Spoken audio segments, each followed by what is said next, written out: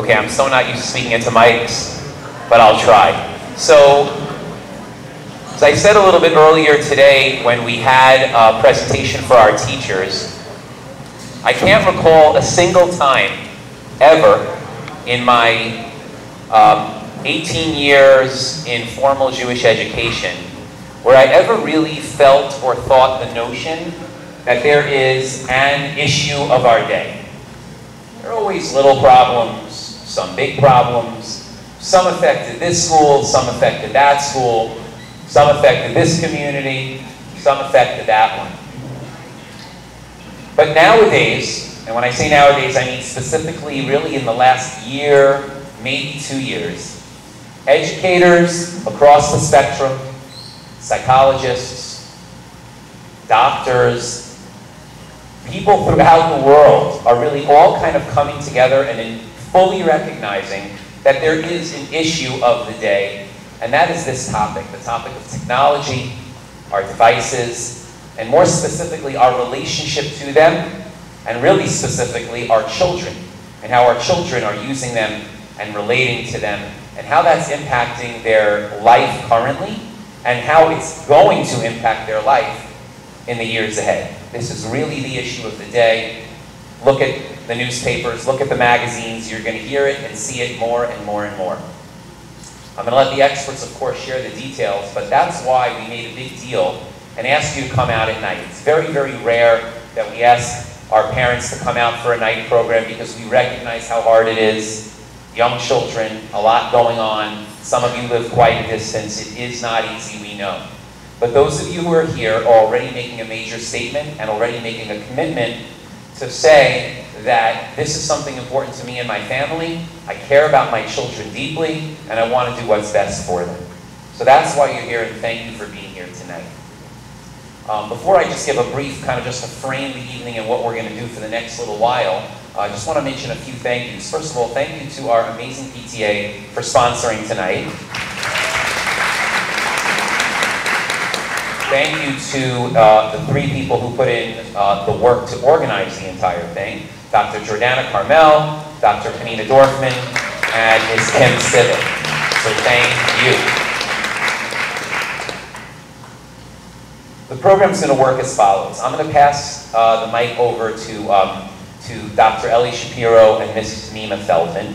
They are with the Digital Citizenship Project and they have uh, really more experience than probably anybody out there in the world um, because they have not only been examining this topic, okay, a lot of people out there examining it, but they've been examining it specifically through the lens uh, of the Jewish world, specifically the Orthodox slash modern Orthodox world. They have a lot they can share. After the, um, the beginning presentation, which will go for about an hour, maybe a little bit longer, we're going to ask you to break up into some groups. We'll explain that more a little bit later on, but to get some small discussion groups.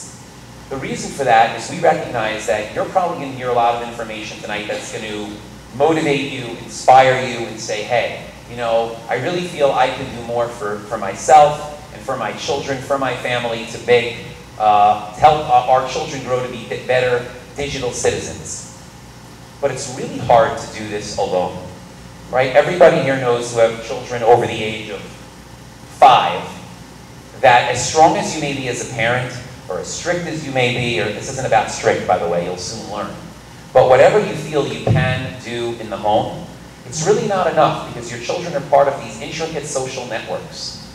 And what the parents next door are doing or are not doing is going to impact your child whether you like it or not. So if we kind of come together have those healthy conversations, maybe even create some mutual understandings and ultimately some communal and social norms, that will have a huge impact on our community and our school. Because our goal here, remember, is not just to kind of inspire you or motivate you. We want you walking out tonight with practical steps, practical advice, something that you could do, talk about with your friends tonight, and kind of implement and bring into your lives going forward in the next days and weeks and months ahead. So without further ado, passing it over to Dr. Eli Shapiro.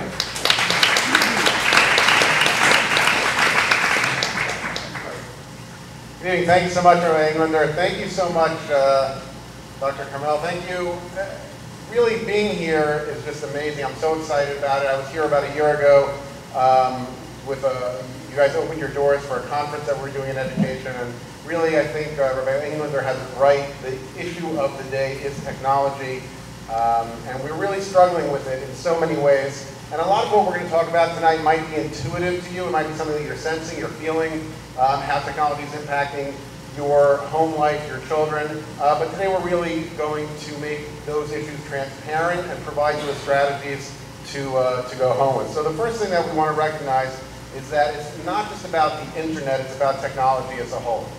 Okay? A lot of times the paradigm has been it's the internet, the internet's good, it's about technology and how we relate to it. Just before we begin, just give me one second.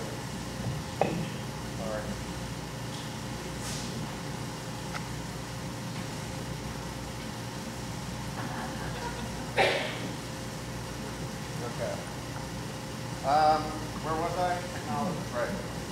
Technology is impacting our lives.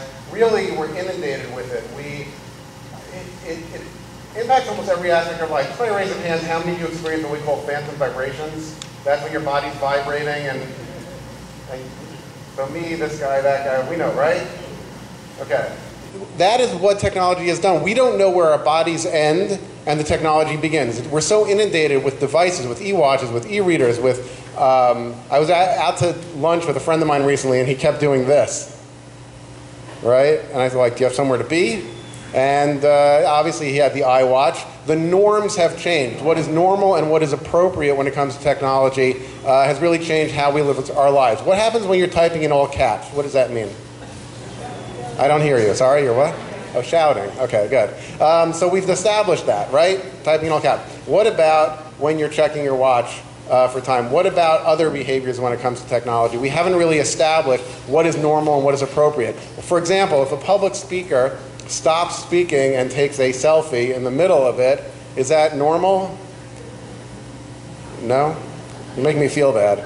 Thank you. Someone's validating my feelings. Um, really, so it's amazing where we are trying to establish norms of appropriate and responsible behavior, by the way, 89% of people experience phantom vibrations, and so this is where we are at with technology. And so we use the term digital citizenship. What is digital citizenship? It's not a new uh, government plan to create new citizens through the internet or digital technology. It's the norms of appropriate and responsible behavior. And we want to help our kids develop that. Our kids are growing up in this technology based and driven world, and we want to help our kids maximize that. There's a great term being used uh, these days called future ready. Are our children future ready? Whatever the technology is today, where it's going to be in 10 years when our, many of our children are entering the job market is going to be totally different. Just think where we were 10 years ago. Really, a lot of changes. And the challenges that we experience when it comes to technology, we would like to have a very simple solution. We'd like to say if we just hold off on giving our kids devices, if we just filter it, if we just, I don't know, uh, no social media. I was meeting with an elected official in New York about a year ago because they introduced uh, something called the uh, Smart School Bond Act, where they were giving billions of dollars to New York City, New York State schools for technology. And I asked about digital citizenship and teaching responsibility, and she said to me, she goes, "Why can't the kids just not go on social media?" Wouldn't that just solve everything? And so this magic pill really is not something that is realistic. So any of you who came for the magic pill tonight, I'm not dispensing any. Um, it's going to be a little more complex than that. But before we move on, I'd like to show you a video from 1984 that I, uh, I feel, well, it'll speak for itself.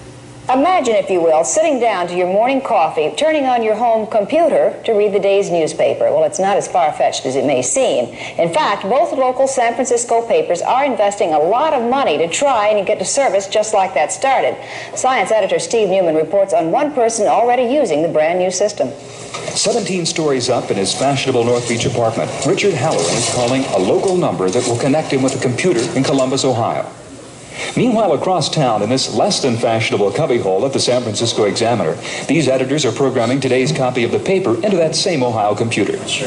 When the telephone connection between these two terminals is made, the newest form of electronic journalism lights up Mr. Halloran's television with just about everything the Examiner prints in its regular edition. That is, with the exception of pictures, ads, and the comics. Eight newspapers around the country are currently in the computer network, and within the next few weeks, three others will join in. This is an experiment. We're trying to figure out what it's going to mean to us as editors and reporters and what it means to the home user. And, and we're not in it to make money. We're uh, probably uh, uh, not going to lose a lot, but we aren't going to make much either. It's, Both the Examiner and Chronicle began service within the last two weeks and printed full page ads about it.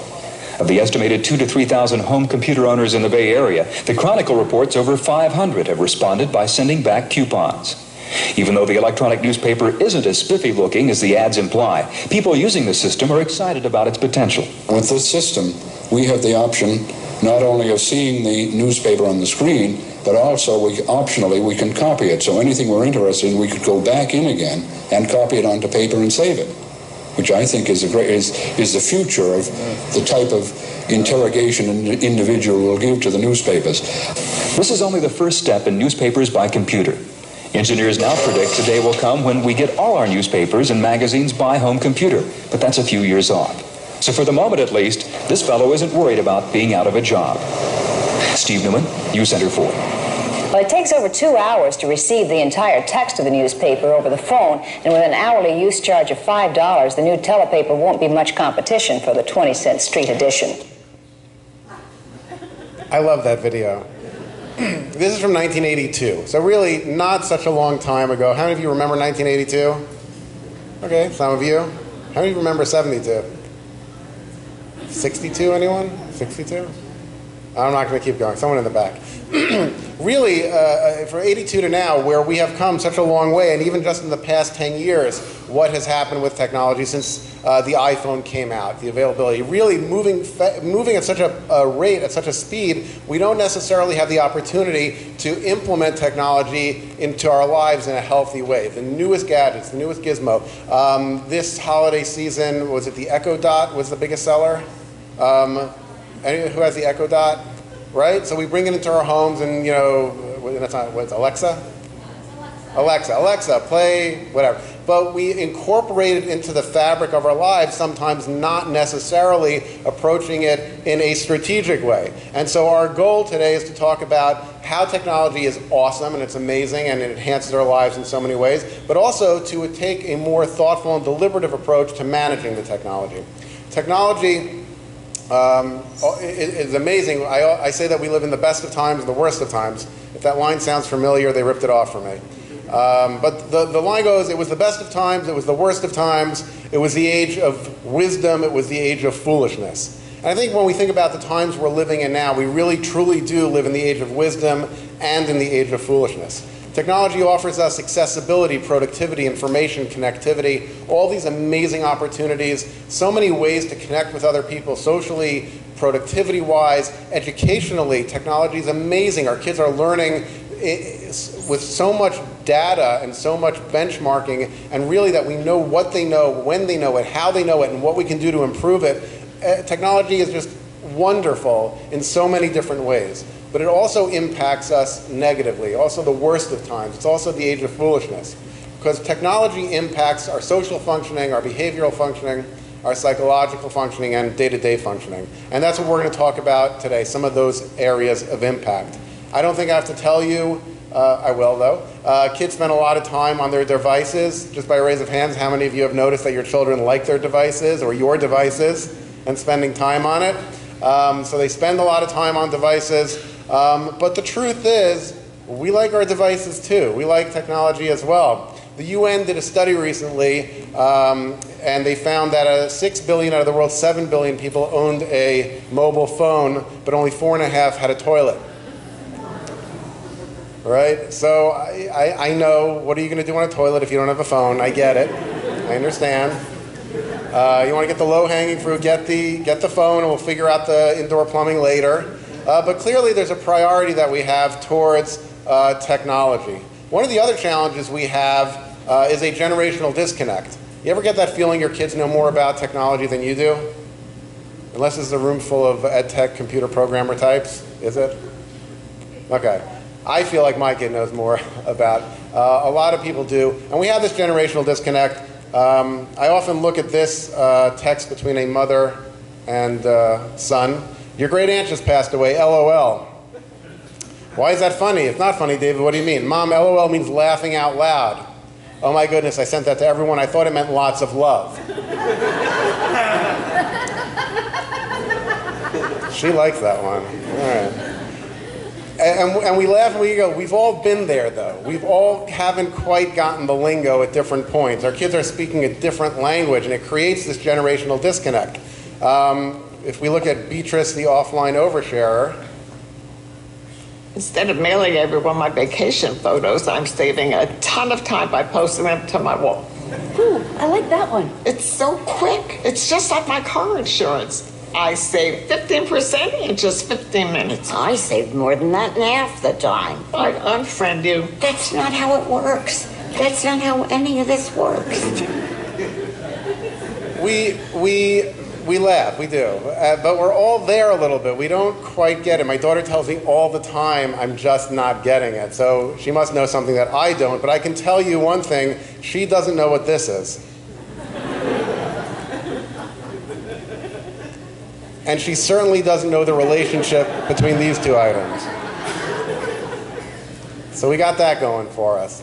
Uh, and things are moving so quickly, and we have this generational disconnect. Um, you know, I have to change this next slide. This was done two years ago when Facebook had only 1.2 billion users. Now they have, I think, about 2 billion uh, users. And again, that's just in a period of two or three years. And our apps and the uh, applications available to us things are moving at such a quick rate and kids are getting devices at a quicker rate and they're getting different apps at a quicker rate. It's really become part of the fabric of our lives. And once again, we really need to focus on how to manage that. You're going to hear a lot of statistics from me tonight. Some people say that I focus too much on statistics. Actually, about 71% of you say I focus too much on statistics. But it's really important to have the data um, that we're moving forward with. And so uh, some of the data that you're going to hear are of similar communities to here. Um, as uh, Rabbi Englander mentioned, I've been collecting data from Jewish day schools across the United States. 41% of kids, uh, this is fifth through eighth grade students, this data that we've selected. 41% uh, of kids own a smartphone, uh, but 81% of them own an internet capable device. This is again fifth through eighth grade. Now, that is not to say that just because they don't own a device doesn't mean they don't have a device. Uh, most kids, even as young as uh, preschool, have access to devices regularly, whether it's the old family uh, iPad or whether it's a Kindle or whether it's you know mom's phone they have devices and they are pretty proficient in it. I was actually in Los Angeles uh, speaking a little while ago, and a parent came over to me after the speech saying that he was taking a nap, and his three year old daughter came in and took his phone and took his finger and put it on the phone and opened up the device. And he wasn't really sure whether to be angry or proud. It was one of those parenting moments where you're not sure how to respond. Uh, but our kids are really proficient and knowledgeable. 84% of kids, again, it's the same population, fifth through eighth grade, uh, are active users of social media. And social media also has become a big challenge uh, for their social lives, for their connectivity with other people, cyberbullying, exclusion, impulsivity. These are some of the issues we're going to talk about uh, today as well. Um, they told me that the Wi Fi is down, so I'm going to log in the old fashioned way.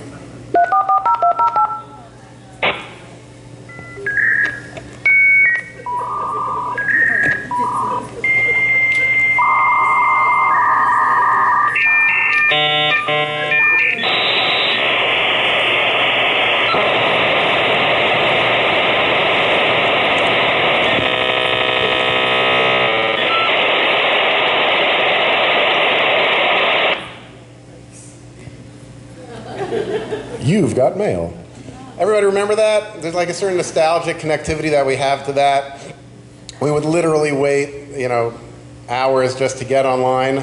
You'd get those, remember those discs, 99 free hours, and you know, you'd get a phone number, and there was like one local phone number for everyone in Boca Raton, and, and like someone would find out about a new number to log into, and you could log in, and you'd go through the whole process, you'd finally log in, and there was absolutely nothing to do online. But we were there. We could play chess with someone in Russia, which was very exciting, except they're much better at chess than we are, so um, we didn't get very far with that. But really, we've advanced in such a way where that instantly, instantly, we expect our technology to be available to us Um, and so we are impacted by our technology. The impacted domains we mentioned before, behavioral, social, psychological, and day-to-day, these are the core areas that we're going to focus on. Behavioral. Uh, the digital realm promotes different behavioral changes uh, that, um, or how it impacts dependence, distraction, impulsivity, disinhibition. Uh, I think we're all familiar with dependence and distraction. Uh, we're dependent on our devices. We spend a lot of time with them. Our kids, even more so. How many of you, your kids are playing a game and you say, okay, it's time to turn it off? And they say, what do they say? Okay, mom, or okay? No, they don't say that. Five more minutes. Or, or I have to finish the level. They are constantly having to finish the level. Um, and somehow it never saves at mid-level. Distraction, kids are uh, distracted, but the two areas that I'd like to focus on briefly are impulsivity and disinhibition. These are two under-focused uh, areas of technology. One in three students admit to having emailed or texted something that they later regretted. That is that idea of impulsivity. Technology promotes me putting something out there without thinking it through, without taking the time. When I was a kid, when uh, we would get angry, when I would get angry at someone, I was told, you know, write them a letter and put it in an envelope. And by the time, wait a week, and by the time you're ready to mail it, usually the issue has resolved itself. Try explaining that to a child today, or even an adult today. When we're angry, when we're upset, we comment, we blog, we tweet, we email, we text, we message, and these are the things that we do today. That idea of waiting, holding back, uh, avoiding the impulsive response is something not something that we do today, and it's something that we need to teach our kids because kids, by their very nature, tend to be a little more impulsive than adults. And then you add technology to the mix, and it can create uh, some challenges. More than half of adults have also uh, posted or messaged things that they later regretted. 22% report doing so weekly. So this is not just a childhood issue. And I think a lot of what we're going to talk about today um, I get to see all of you, and I'm going to say certain things, and you're going to be like, yeah, yeah, yeah, me also. And so we have to tap in a little bit to our own relationships with technology, our own habits with technology as well. Online disinhibition. Online disinhibition is when I do or say things uh, online that I wouldn't normally do or say in a face-to-face -face conversation. Sometimes we're more comfortable texting something to somebody than saying it to their face. That's online disinhibition, when there's that separation through the electronic medium. So the disinhibition, I'm more likely to do or say something than I would in a face-to-face -face conversation. And that can create a lot of issues amongst teens where they communicate differently. Um, even the Pew Foundation found that, um, that the majority of the kids that they were studying reported that my friends act differently online than they do in real life. And so when you add impulsivity and disinhibition to what technology does, that's a dangerous mix for kids the dangerous mix because of, when we're going to learn a little more about the public and permanent nature of, of technology. The, oh wow, I feel like I put on those noise canceling headphones all of a sudden. Thank you. Um, there, there's a positive correlation between online aggression um, and anonymity. It's not new. Anyone who took Psych 101, you took uh, uh, Stanley Milgram, the electroshock studies, um, Philip Zimbardo, uh, they found that when anonymity came into play, people would deliver longer, stronger, even fatal shocks uh, during these experiments. And so it's not a new concept, but it's something that, as a result of technology, has been exacerbated. Um, and so we have the impulsivity and the, the disinhibition. Another issue we see with kids today is that they sleep with their devices within reach. Um, I raise of hands, I'm assuming about 80% of you your kids that have devices, they sleep with them within reach. Why do they sleep with them within reach? So the alarm clock has gotten all the way down here. I'm from New York, so I know that. Yeah, so they say an alarm clock. Um, do they have amazing savings down here, or dollar store type? Yes. So they sell those ones with the big red numbers with the built-in alarm clock. Those work great too. In fact, they're probably more annoying than the, uh, the cell phones. So they sleep with their, why is this an issue if they sleep with their devices within reach? Don't be shy. Sleep, yeah, it, it, it impacts their sleep uh, for a variety of reasons.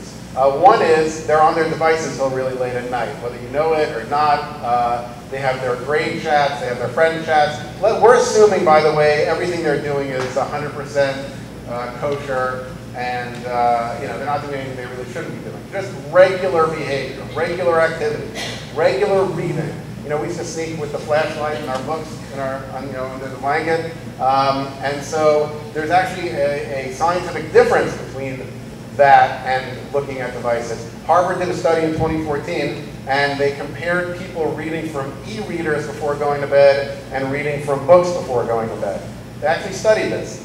And uh, what they found was, I mean, I don't know how much studying you have to do. You all know what happens when you're in bed and you take a book out. Relatively quickly, you're asleep. The truth is, I have a book on my night table that I've been reading for eight months. I am still on the third page and uh, I fall asleep rather quickly from it. But with the e-reader, the blue light and the light from the device actually impacted sleep. Uh, it impacted melatonin production. It tricks the brain into thinking that it's daytime. So it's actually more difficult to fall asleep, and the quality of the sleep is uh, is uh, not as is, is not as good either. Um, there's a term called FOMO. You guys are familiar with that? Fear of missing out. So what happens also for kids, if their device is next to their bed, they think that some really important disclosure or communication is going to come through their grade chat or something along those lines at 3 in the morning. And so they don't actually fall asleep to the same degree that they would if they weren't worried about something coming on their chat. And so sleeping with devices within reach actually has a tremendous impact on sleep. And sleep is one of the greatest predictors uh, for academic, for kids achieving their maximum academic performance.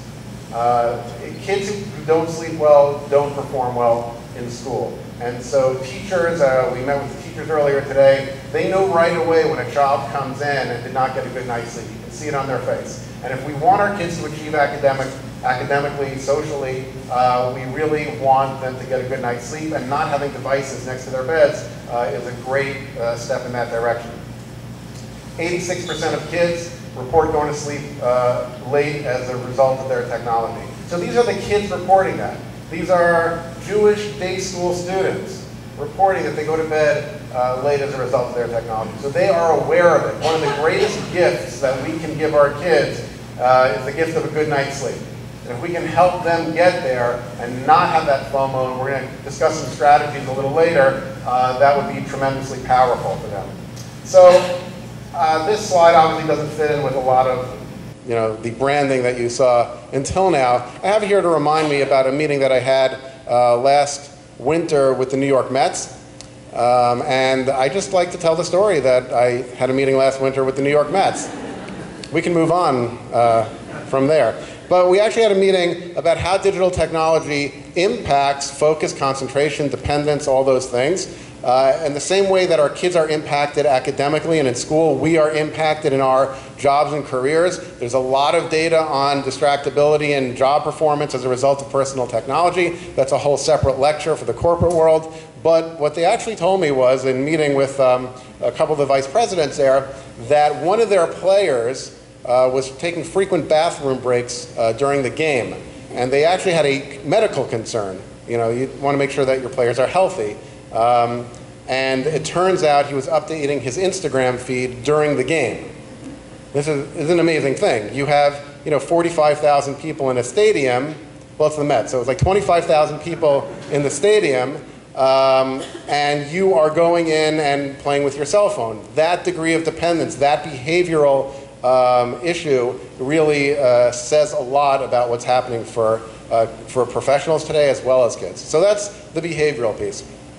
Socially, we see digital distraction, social dependence, online aggression, cyberbullying. We've been hearing a lot about cyberbullying uh, lately, uh, miscommunication. These are all issues that we, uh, that we see associate, social issues that we see with technology. Uh, digital disconnection, we see images like this all the time. Uh, I call it a regression to parallel play for the early childhood uh, teachers. you know when kids are playing next to each other but not with each other, that's kind of what's happening today. I have to tell you, I made a note with Rabbi Englander when you guys all came in. Very few of you were on your phones. You were actually interacting with each other and communicating. You should give yourselves a round of applause because that really, uh, no, really, that's really nice. Um, I was speaking with someone who uh, earlier who uh, runs a camp, is involved with the camp. UCLA did a study in 2014 and uh, they actually measured kids' ability to read social expressions and facial cues uh, in social environments, and they got a baseline. And then they sent them to sleepaway camp, and they measured them again. And the sleepaway camp didn't have technology. And what they found was in only five days, their ability to read, read facial expressions and social cues and form more meaningful connections vastly improved. So it's a fascinating study because it tells us two things. One is that digital technology is having a negative impact on our social connectivity. Uh, two is that we can repair it. We can really address it by refraining from technology um, at times. And I think if we all think about when do we connect with our kids best, when do we, our family connections, most meaningful conversations? On Shabbos, when we don't have our devices, right?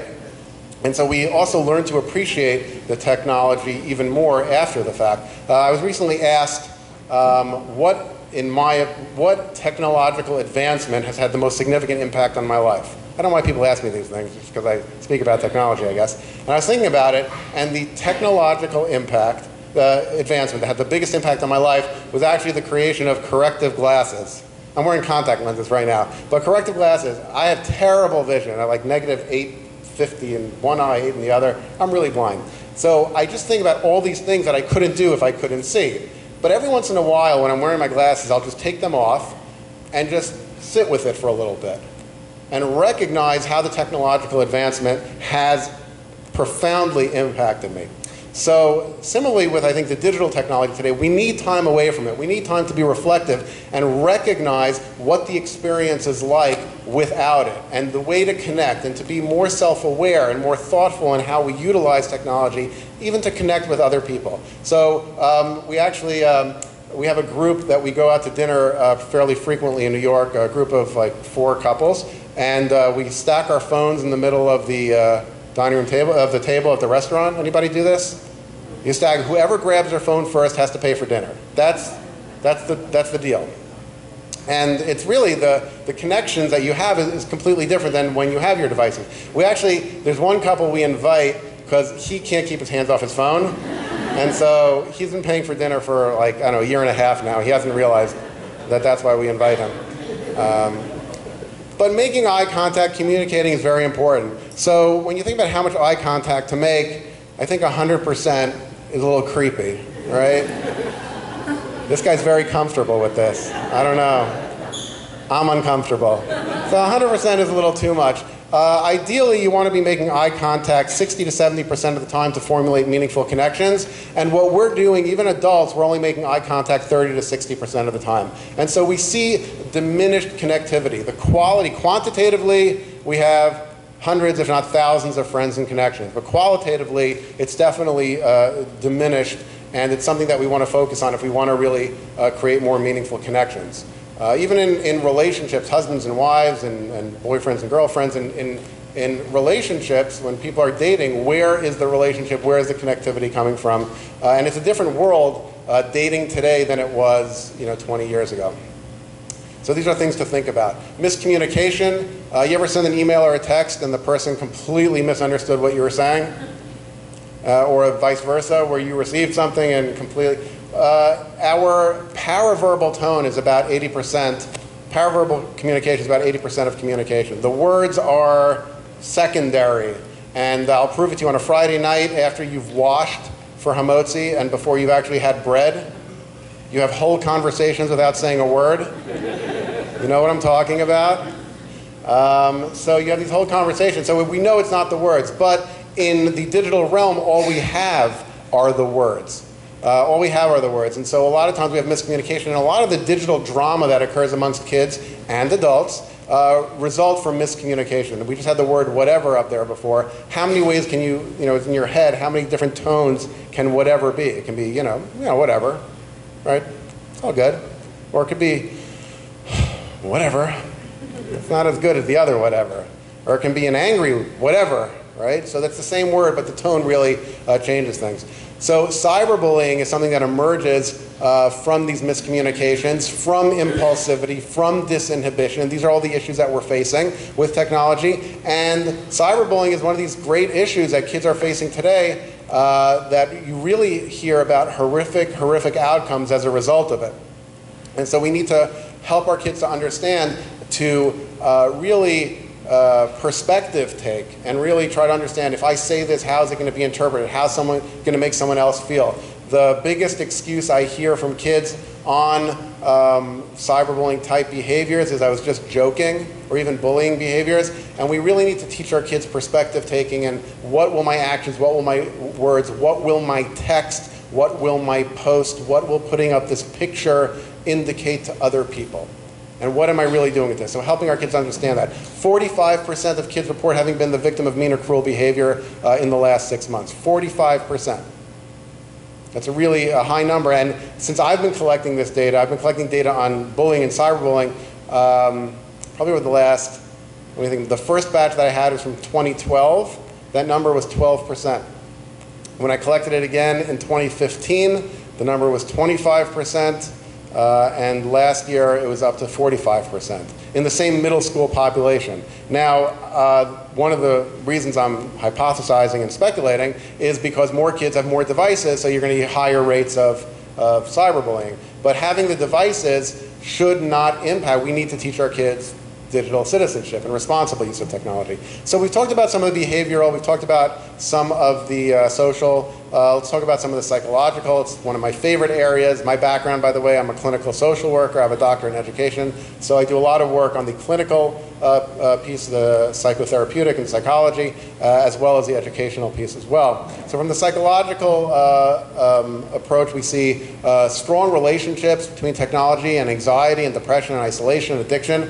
that's not to say that having a device makes you depressed or gives you anxiety, um, although maybe it does a little bit.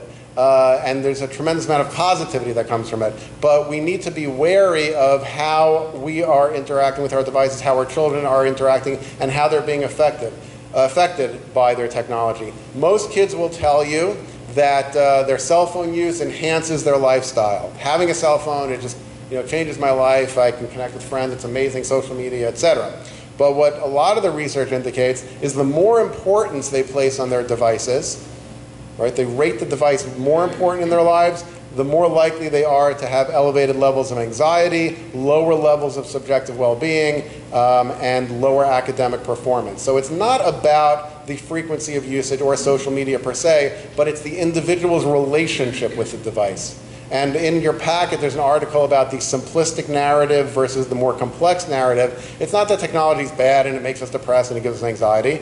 It does sometimes, but it also makes us happy and it also uh, you know, helps us connect with other people. But we have to look at the individual relationships with technology, whether it's our children, is it a healthy one, is it an unhealthy one? And just in case you forgot, I had a meeting with the Mets. Just wanted to put that out there. Um, everybody know what this is? Hashtag pound sign. Anyone know what the original word is? No, not pound? This is a trivia question. Tic tac toe, very good. No? No? Uh, Octothorpe. Octothorpe. I don't know why, I don't, you know. Anyway, in case it comes up in casual conversation, you'll be able to now tell people, although not in these social circles because everyone will know already. Um, but this is a hashtag. You see this a lot. I'll explain what a hashtag does. I don't want to embarrass anybody by asking, do you know what a hashtag does? It's really just a fancy filing system for the online realm. So when you put a hashtag in front of something, whatever follows the hashtag, it will be in the interweb world under whatever that is. So let's say uh, you want to say best school ever, right? Followed by Katz Hill. It would be hashtag best school ever. And then anyone who wants to look up what is the best school ever, you know, it would be there. It's basically filing it on the internet. Um, and so what we find is that people use hashtags for a lot of different things, positive things, negative things. Um, one of my favorite studies were by two psychologists. You know, some people have favorite sports players you know, or favorite, I don't know, politicians or favorite rabbis, or I'm a, little, uh, a bit of a nerd. Um, I have favorite psychologists. And my favorite psychologists are Peterson and Seligman. They founded the uh, positive psychology movement. And they did this amazing study where they asked people uh, to write down five things that they were grateful for at the end of the day. Um, and then they had the control group that did nothing. And what they found was that when people would write things down that they were grateful for, their overall levels of subjective well being were much higher. They were happier people. And so uh, the fact that they um, were doing that um, not only lasted while they were doing it, but even for three months after the fact, their, their subjective well being was higher. So the flip side is if you write negative, you are going to create a negative mood for yourself. What do you think when it comes to digital technology? Are kids or adults more likely to post negative things or post positive things? Anyone look at Yelp ever? All negative. Almost all. Uh, what, I'll, I'll make it easier, the question easier. Delta gets you to your destination on time with your luggage versus Delta gets you there four hours late and your luggage is in Hawaii. Which are you more likely to tweet or post about? So the answer is the latter. But what that does is it literally creates a negative schema. If we're more likely to post negative things, we are really creating a negative mood for ourselves. On the flip side, if we post positive things, we actually can elevate our mood. So one of the things that we encourage kids to do is if you're on social media, focus on posting positive, right? We actually have a campaign, post positive. um, but what we actually find is that uh, there was a study done that compared positive hashtags to negative hashtags, like success, I love best, versus fail, I hate worst. And they found for every positive hashtag, there were two negative hashtags. Our natural inclination is to post negative, to be impulsive, to be disinhibited, and we post negative. And we want to help our kids to focus on posting positive. 85% of kids report using technology longer than they anticipated, right? So they don't have control. So we see the depression, the self-control, the, um, again, these are the kids reporting it. Uh, the anxiety that we mentioned before. I mean, we can all connect to the anxiety piece. You ever forget your cell phone at home? You know that feeling right here where you're like, oh my God, I forgot my cell phone at home, right? Right there. That's anxiety, our connection to it. We go from this, oh my gosh, I left my cell phone at home, no one can get in touch with me, right? And we panic, panic sets in. And hopefully, if we're well adjusted, it goes from, oh my gosh, I left my cell phone at home, no one can get in touch with me, to, I left my cell phone at home. No one can get in touch with me, right? And then it's like peace and calm and it's like Shabbos during the week, and we can relax. Uh, so the anxiety, the depression, that relationship. What is our relationship with technology? Is it enhancing our lives? Is it an intrusion? Kids get exposed to uh, graphic websites or violent content online actually has a negative impact on their emotional well-being. Um, 40% of kids report having looked up a website their parents would disapprove of. 43% say that they accidentally ended up on a website their parents would disapprove of. But perhaps most importantly, 57% of kids have seen an image or video clip that disturbed them. So it's not just that they are being exposed to content that might be objectionable, it's actually having a negative impact, uh, impact on their emotional state. When we ask parents, only about 20% of parents say their kids have been exposed to something that disturbed them. And so we see a little bit of that disconnect we see that kids are experiencing things that they're not necessarily communicating with their parents. All right, so we talked about social, behavioral, and psychological. Day to day, the day to day impact of technology. Um, schoolwork is impacted, exposure, physical health, criminal charges, college, uh, employment. Uh, just on the physical health, I actually read a study recently that kids uh, today are inhaling about 30% less oxygen than they were 20 years ago. 30% less oxygen. And it's not because they're a little less active. That is true, they are less active. Um, but not, I, by the way, I saw the kids playing outside after dismissal, playing ball. That was very nice. In New York, they don't do that. They don't play outside. Uh, you have good weather here, so I guess there's a positive in that. Um, and, uh, but the truth is, if you all, you know, you've, you're, you're a good audience, you've been sitting nicely, we'll do a little quick exercise. If you stretch your hands out, put your chin up, take a nice deep breath, right? Feels good. Get it in your lungs. Don't worry, I'm not going to start meditating with you. Just, right, oh wow, we have people are really into it. Take a nice deep breath. Now, pretend you're on your phone with your chin down and take a deep breath. A little harder. You're not getting as much oxygen. Anyone who took CPR first aid, what's the first move you do if someone is not breathing?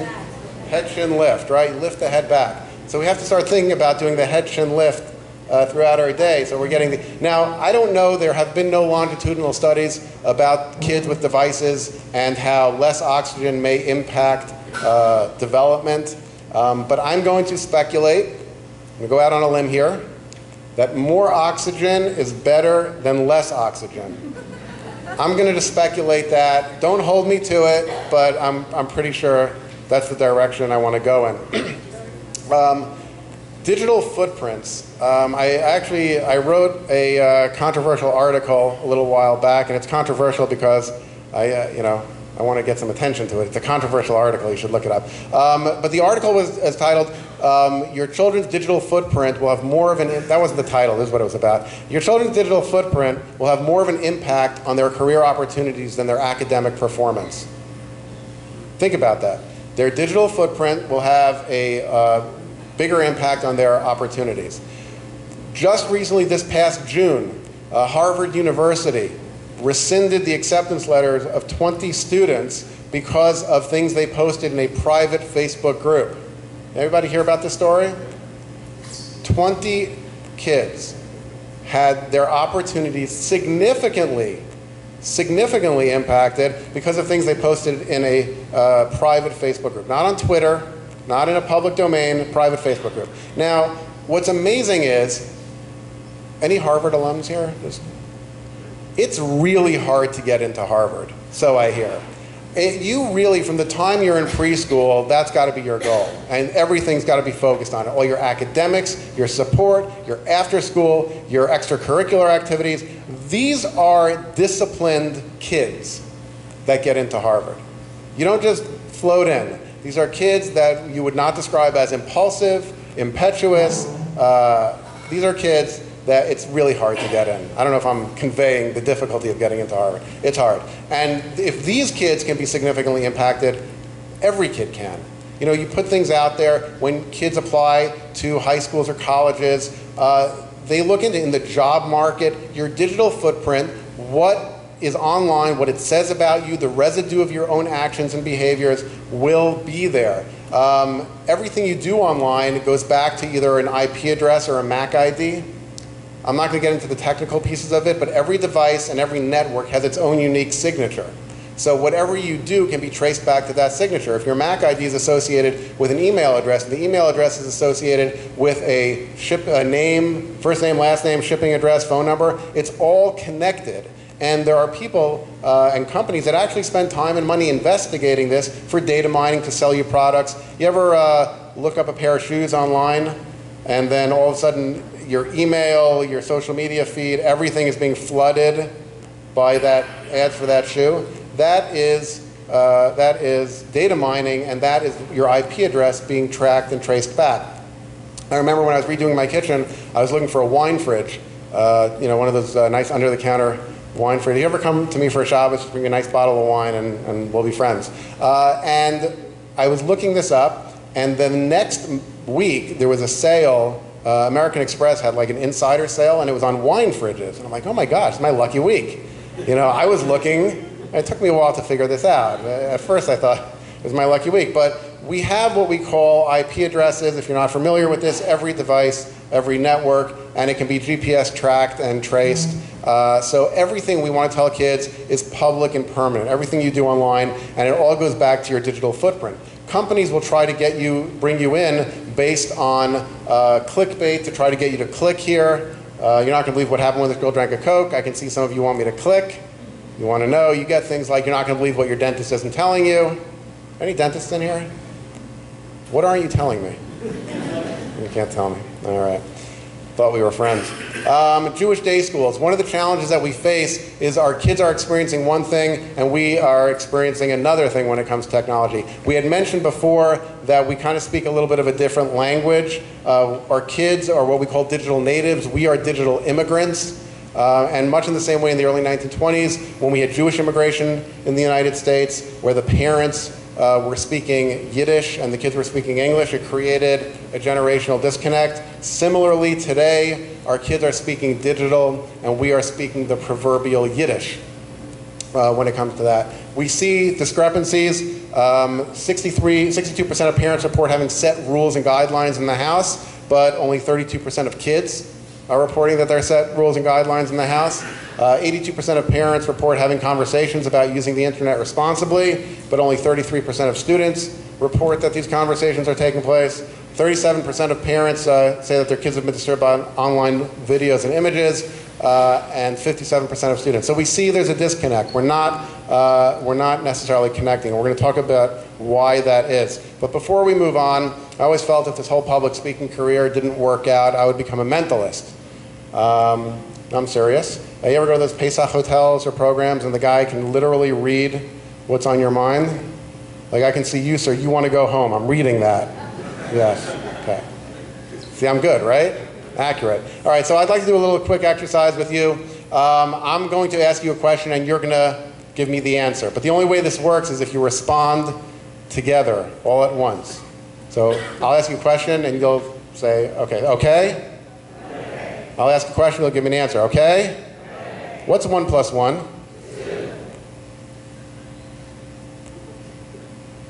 You guys are good.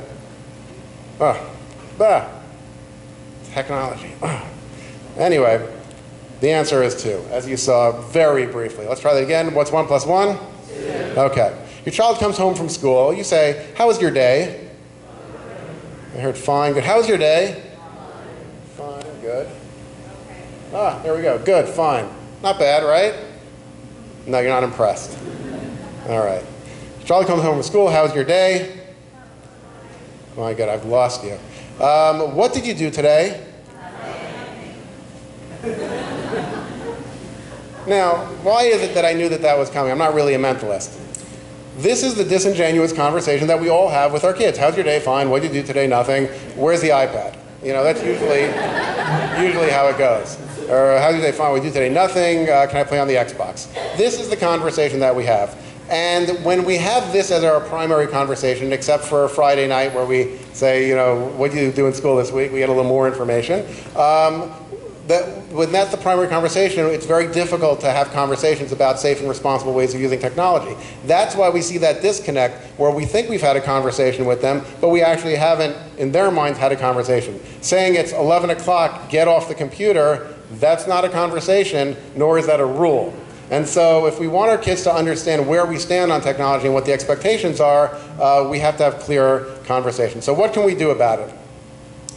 what can we do? And we're going to, I want you, if you have a pen, you can write notes, and we're going to break into groups in a little while. But some of the strategies of what we can do, we talked about the social, psychological, behavioral, and day to day impact of technology. All these areas that are impacted by technology. Uh, and the challenge of raising children in this generation, it's exhausting. That's the truth. And there is no magic pill. So we have to put that out. I really I encourage you uh, to really focus on that article, the uh, simplicity versus the complexity of raising kids today. There are no simple answers. Uh, our kids experience two of the big challenges that they experience when it comes to technology is FOMO. You know what that is? Fear of missing out. And BE. Anybody know what BE is? It's not Be'ezras Hashem. No. Um, but everyone has. You ever hear that from your children?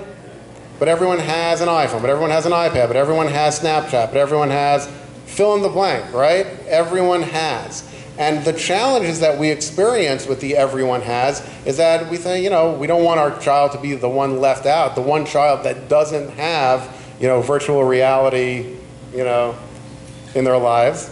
Uh, that's a big thing now with the kids. Um, and so we need to recognize that there is power in numbers.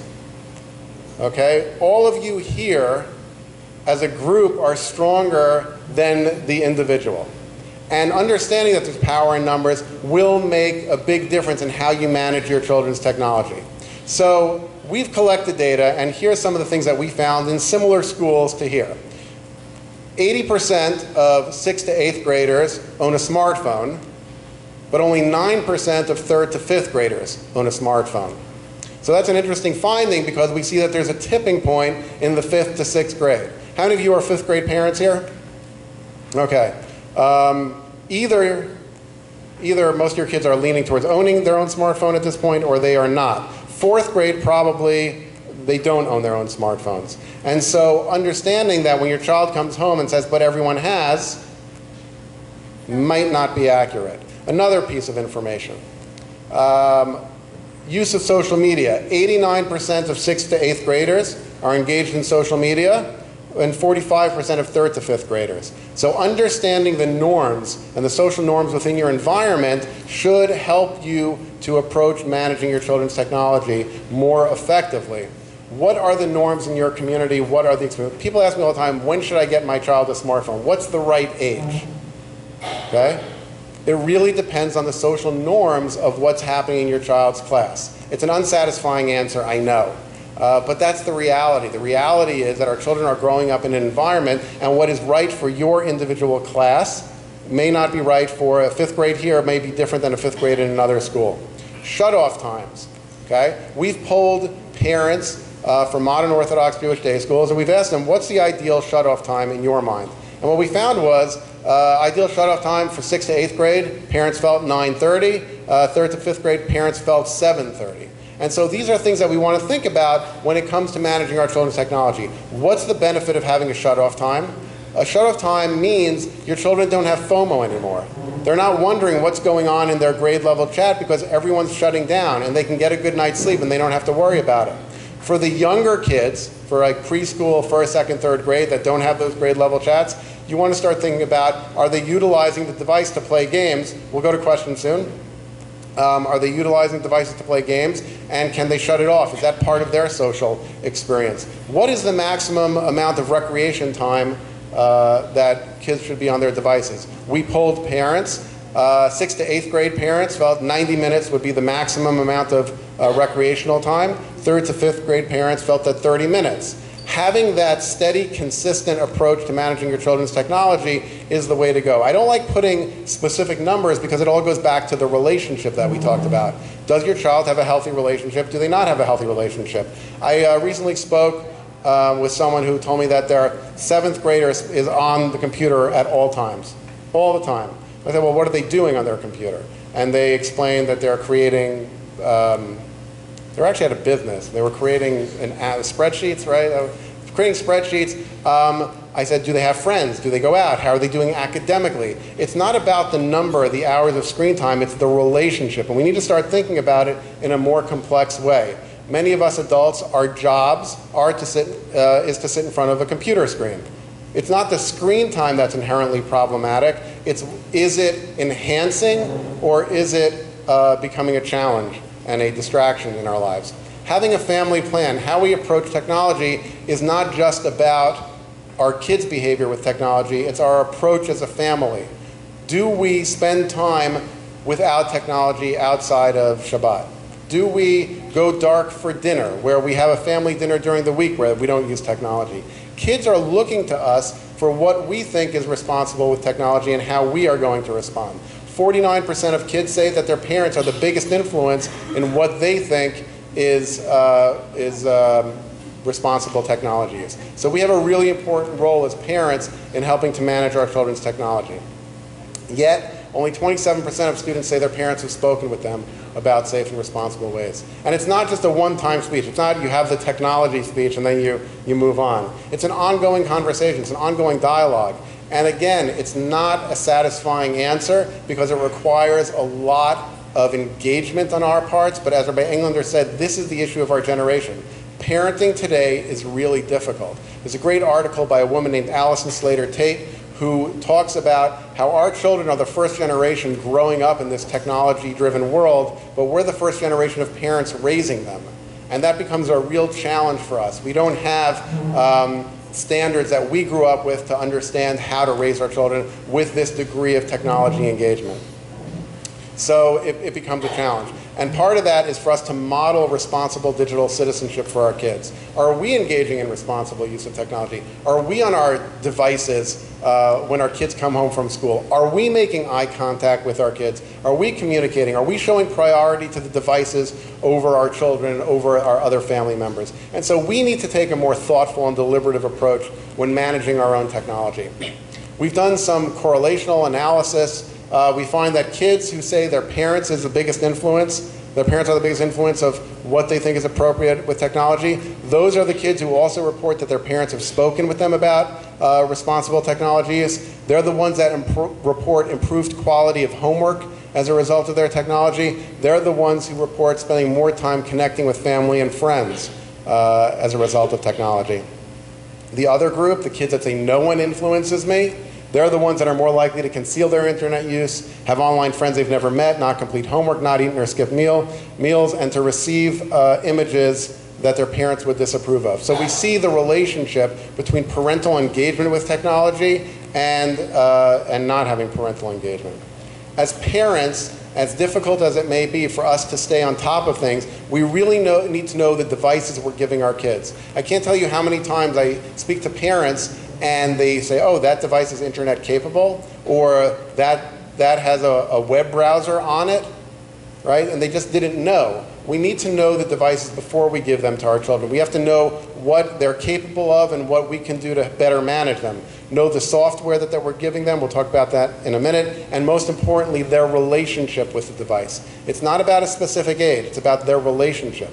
Um, I, uh, I get phone calls from certain, there are certain ultra right wing communities where people don't get devices till after they're out of high school. It does exist. And what we find is that in these communities, they get devices at 18, 19, 20, internet cable, and they don't know how to manage them. This is not about an age. If you get it at 18, 19, but no one's taught you responsible technology use, you're going to spend all your time on those devices in an irresponsible way as well. Um, we hear that, and you can give a 12 year old uh, an internet capable device, but teach them responsibility and model responsibility and teach them and assess that their behavior is a healthy relationship with the devices and you will be much better off. Different devices have native products. I get off, often get asked what's the best filter. Um, I'm not, you know, devices should have filters, but to me they're the equivalent of a seatbelt in a car. Uh, child, right? You have a seatbelt, everyone should wear a seatbelt, but it doesn't teach you how to drive responsibly, right? We'd put drivers out, out of business if all we needed to do was give seatbelts to kids. That's what filters are. Um, with that said, uh, in the modern Orthodox Jewish day school community, only 8% of kids reported having uh, filters on all the devices that are available to them. And so that's actually a very low number, uh, but again, it's not just about the filters. Everybody know what these three icons are? Just Snapchat, WhatsApp, and Instagram. Um, what's amazing, these are the three most popular um, uh, social media um, apps that, that kids have today. Uh, we've polled them. Uh, I should have just come here because it seems that you guys knew that already. Uh, but well, these apps are very different. Every app has an age appropriate rating on it. Is everybody aware of that? When you go to the App Store and download the app for your child, um, there's an age appropriateness. So WhatsApp is rated age four years old plus. That's what they find to be the appropriate age for, for uh, WhatsApp. Now, Snapchat and Instagram are rated 12 years old plus. Okay? That's what you know the uh, minds at I guess Apple or whoever rated them at. Now, why is Snapchat rated 12 years old plus? When you go down to download an app, this is you'll get a screen something like this, and the reason Snapchat is rated 12 plus is for infrequent mild alcohol, tobacco, or drug use. Uh, infrequent mild profanity or crude humor, mild mature suggestive themes, infrequent mild sexual content, and nudity. And that is what they find appropriate for 12 plus. Obviously, some of you have different values. Um, and so it's important to know what you're giving your children access to. Something like Instagram is, again, it's a great, all of these so, social media, they're great. Snapchat's great, Instagram's great, but you have to recognize that you can't filter out content that you may find objectionable for your families. Uh, one of the challenges we talked about kids staying up late at night, I strongly recommend a product called OurPact. Those are my uh, two kids up there. Uh, Pact is amazing because you can see that there uh, are schedules that you can turn your child's smartphone into a dumb phone. Uh, so from 11 p.m. to 6 a.m., my child's device, all the apps disappear. No apps, and that's actually for my high school senior as well. I want her to get a good night's sleep as well. Um, except for the clock, you'll notice that the clock has a green check next to it the clock is not affected by the schedule. So that deals with the alarm clock uh, reasoning. Uh, during school, 8.30 a.m. to 4.15 p.m., her phone becomes a dumb phone. I don't see any reason that she needs to have access to social media or other apps during school. Again, these are my personal values. I don't in any way mean to tell you that these should be your values, but I want her to be focused on school in school. And you can basically set it up with your child. It shouldn't be say, here's the phone and it's restricted. Don't go home and take away your kids' devices. Don't go home and filter your kids' devices. Don't go home. This is an ongoing dialogue and conversation that you need to be having with your children about responsible technology use. Um, one of the things that you can do, I did with my daughter, is to create a contract, sample cell phone contract. I think it's included in the packet that you have. But it's not about the specific rules that I have with my daughter that you're going to create with your children. Um, it's about the ongoing dialogue. The process that we went through in creating this contract was my daughter said, everyone has an iPhone, everyone has an iPhone, everyone has an iPhone, everyone has an iPhone. And I said, I'm sorry, I wasn't paying attention. What do they have? Uh, everyone has an iPhone, right? And so, you know, you assess, does everyone really have an iPhone? And at some point, I recognized basically all of her friends had smartphones. Uh, and so I said, okay, let me explain to you what my concern with digital technology and smartphones are. And I set up my computer with a projector, and I made her sit through exactly what you're sitting through now. And uh, we went through the social, psychological, behavioral, uh, day-to-day impact, and I said, come up with a contract that addresses my concerns. And she came up with one version of it, and then I reviewed it with my people. And um, then I sent it back uh, with revisions for her to review with her people. Her people were basically her friends that really felt bad for her that I was their, her father. Um, and we basically together came up with this contract, which we have revisited and renegotiated uh, over time. And it's really great to keep that dialogue and that communication going because what this does is it helps her to understand that technology is awesome, it's amazing, but there's a degree of responsibility and an ongoing communication that we have when it comes to technology. So those are some of the strategies that we can incorporate in managing our children's technology. Six suggestions for family success that we recommend. That's a mouthful. I got to change that title. Um, one is understand your relationship with technology, understand your children's relationship with technology. Is it healthy? Is it enhancing their experience? Uh, is it enhancing their social experience, or is it negative on their emotional, psychological, behavioral, and social states? Have tech-free time at home. Go dark for dinner. We do that in my house. 10 minutes that we are home for dinner, um, or 10 minutes of the time we're home for dinner. It doesn't happen every night. There are no devices uh, around. It's not even that like they're in my pocket because that actually is a completely different experience. You can do your own experiments at home. Try having dark for dinner with a device in your pocket or try having it with the device in the other room. Your focus, your ability to connect will be so much better just not having your device uh, in proximity. Going dark for dinner. Have personal and family rules.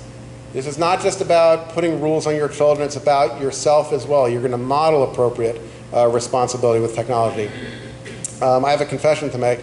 I, um, when I daven Shachris and I'm wearing talis and tefillin, um, I don't have my cell phone with me. I have it back. I don't, I don't, I don't think this to impress anybody or anything. Um, the good news is my, my, my Shachris is down to six and a half minutes, and my Hebrew fluency has greatly increased uh, since separating from my phone. Uh, but the reality is, it just seems like, in, like an inconsistent behavior to be there checking your email, etc. It's not even like a religious thing. It's just if I'm focused on something, that's what I want to be focused on. If I'm with my kids, if I'm focused on them, I don't want to have my device as a distraction either. Now, understanding the real world, you know, I'm not Pollyanna, you know, and sometimes you have to respond to emails and texts. It's okay, be transparent with your kids. You can say, you know what, my boss just emailed me, I got to respond to this, but then I'm with you. And then give them five minutes without your device distracting you. It's an amazing thing, just giving them those few minutes. So having personal family rules, that's easy. Following them is a little more difficult. Being consistent with them, communicating with your kids, being transparent, and modeling responsible technology use. These are all strategies that we can incorporate uh, into managing, uh, better managing our family environment with digital technology. We want to improve dialogue with our children. We want the conversations to be more than just, how's your day, fine, what'd you do today, nothing. We want it to be more meaningful. We want to have strategic discussion. Tell me about your day. When we go dark for dinner, I sort of incorporate it into all the 10 minutes. So there's no devices. And tell me about your day at school. They're not allowed to get up from the table until they told me something new that they learned that day in school, or something interesting, or something that happened with one of their teachers, something interesting. And so we actually find out what's happening uh, for our kids during their school day. And so it's all about the relationships with your kids. When you are putting policies and rules in place in the absence of a relationship, kids interpret it as punitive and punishing. You know, my daughter uh, will say to me something like, "Oh, what? You don't trust me?" You ever get that? I'm like, "Of course I don't trust you. You're a teenager." No. I say, I, "Of course I trust you, but I love you and I understand how technology impacts." The other thing I get with, with the, you know, but everyone, but everyone has a device without a filter and you know, free reign on the internet. And I just look at her and I say, you know, your friends' parents don't love them, so that's okay. You know. So these are some of the conversations that we have. Uh, but it really, it's amazing when you have a good relationship, the kind of policies that you, that you won't get pushback on. And if you're getting pushback on what we would consider reasonable policies, we need to assess the relationship with the technology. So it's really, it's complex. Don't oversimplify, it's complex, and it's about relationships. I'm going to show you, we're going to close uh, this part of it. After this video, we're going to break into different uh, sections. Um, I think uh, early childhood in that area, um, what's in the back over there?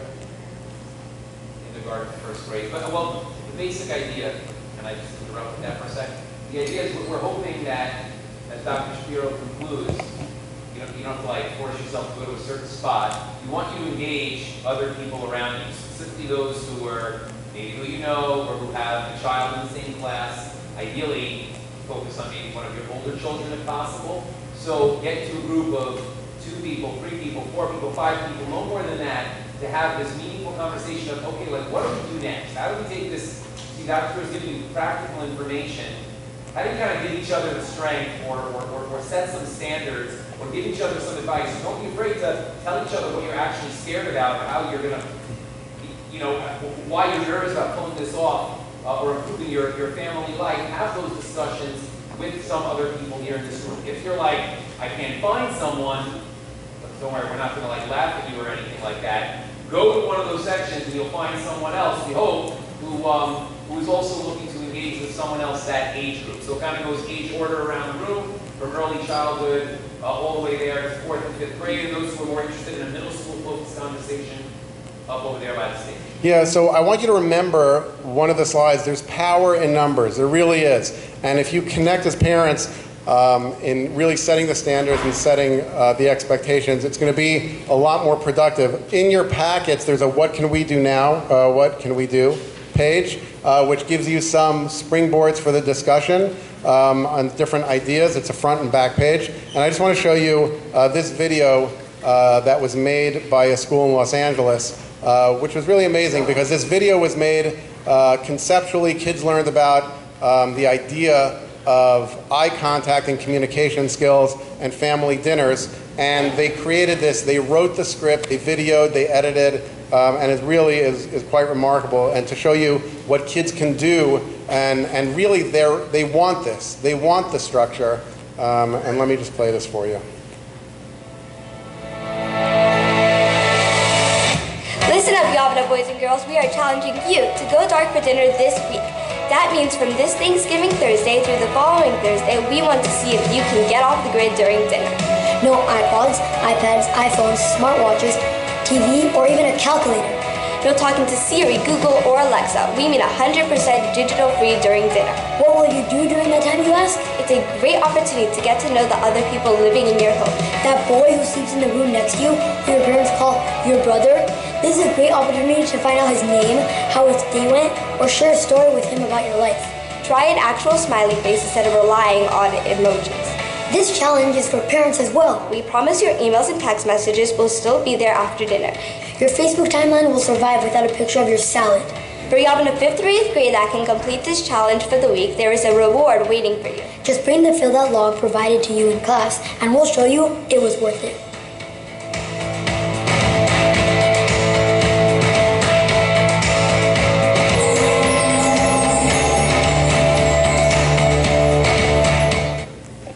So again, the idea, what I love about it is that the kids really internalized it and they created their own content. They weren't just taking information.